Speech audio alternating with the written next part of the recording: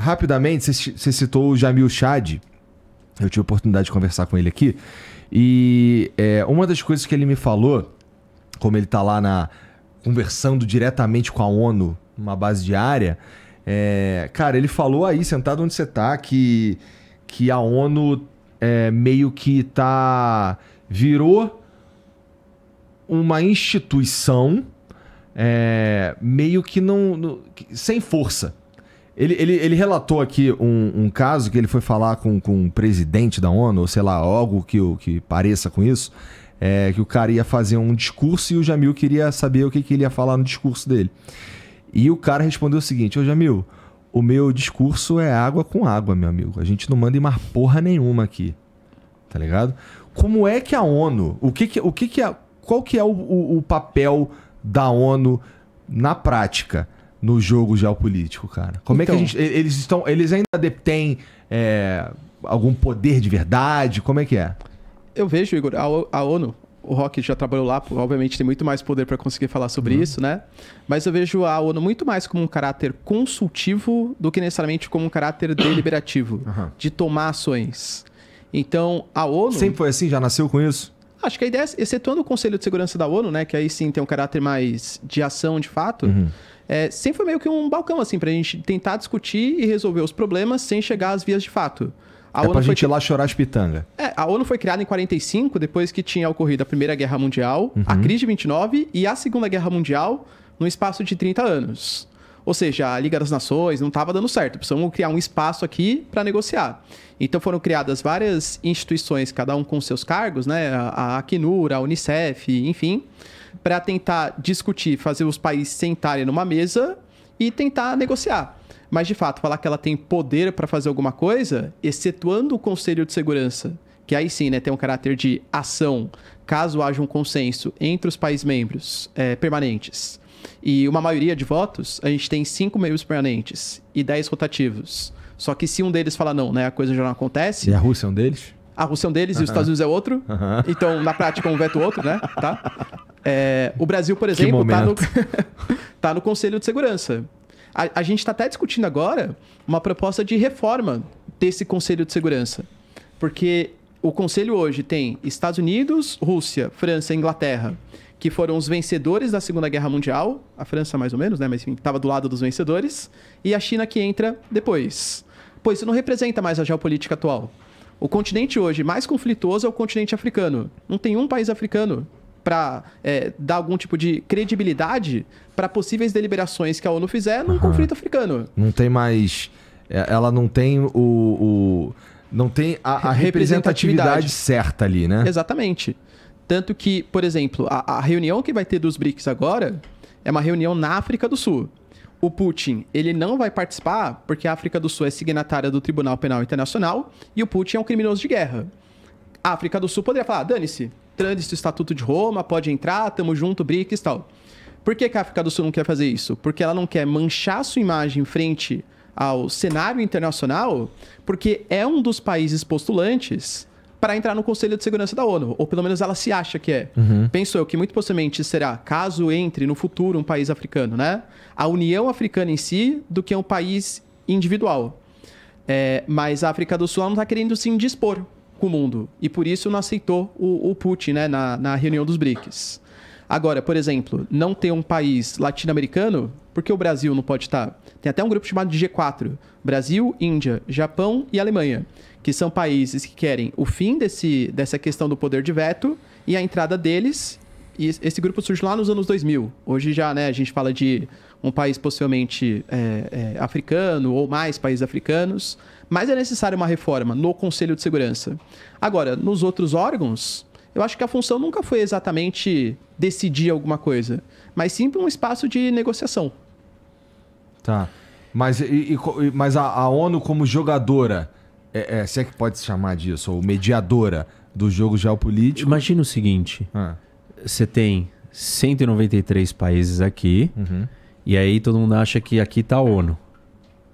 Só que olha o nome: Organização das Nações Unidas.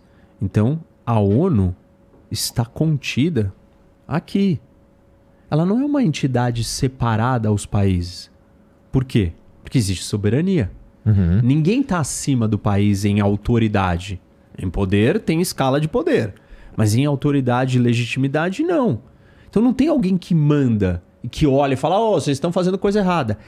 A ONU é os países.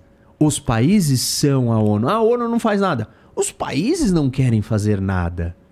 Porque ela não tem autonomia, não tem independência, não tem poder, não tem dinheiro, não tem força física, É um ela não conselho. tem nada. Ela é um fórum. Um fórum permanente. O que é um fórum? Um lugar onde todo mundo se reúne, se encontra para conversar. Com regras institucionais. Só que a maioria das regras são sugestivas. Por exemplo, uma coisa, uma, uma resolução que passou no final de 2022. É, por 50, 154 votos a favor e 8 contra. A resolução bane o teste de mísseis anti-satélite.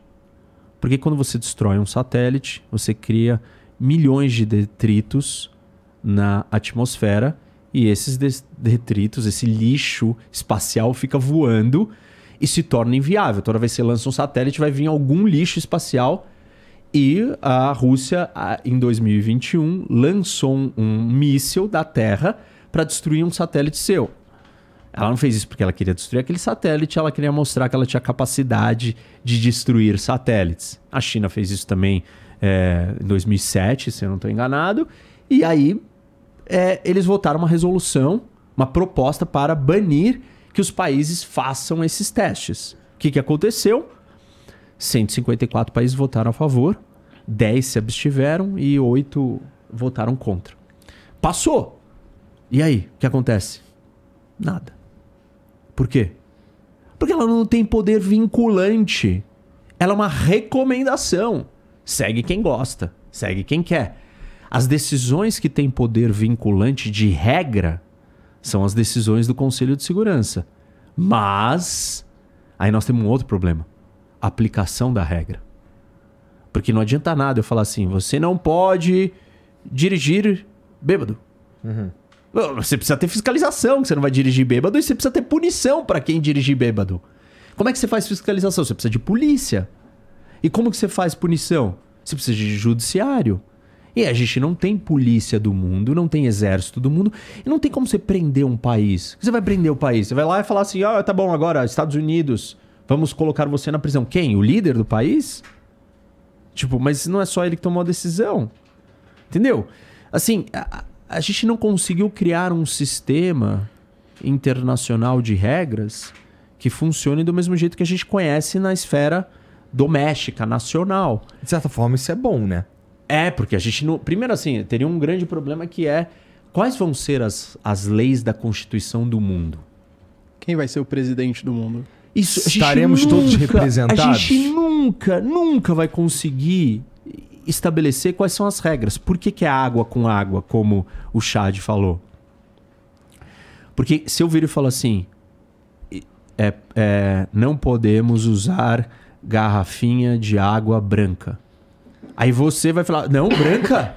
branca não. Branca é a cor sagrada pra mim. Aí ele vai falar, não, não.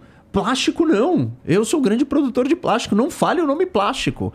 Aí o outro, não, tampa azul não. Ah, tá bom. Não podemos usar objetos é, que transportem alguma coisa dentro. Entendeu? Vira um negócio tão genérico que ele não quer dizer nada. E então a gente nunca vai chegar num lugar nenhum onde a gente vai conseguir estabelecer alguma coisa objetiva, porque vai ferir. Cada coisa objetiva fere alguém. Fere uma cultura, uma religião, uma história, um- uma ideologia. E aí você, fica, você faz uma coisa pra todo mundo concordar que ela é o mais genérica possível. O mais genérica possível, ela não diz nada. E mesmo se dissesse, a gente ia ter o problema da aplicação da lei e da regra, que a gente não tem como. O que ele falou, né, do tratado, né, e do, do tribunal penal, é, assim, tem um problema muito sério nisso, porque você é um signatário do tratado. E aí você aceita a decisão daquela corte. Mas se um dia você acorda e fala assim, quer saber, meu? Não quero mais. não quero mais. E aí o que, que você faz? Tchau. Tipo, ah não, eu rasguei o tratado.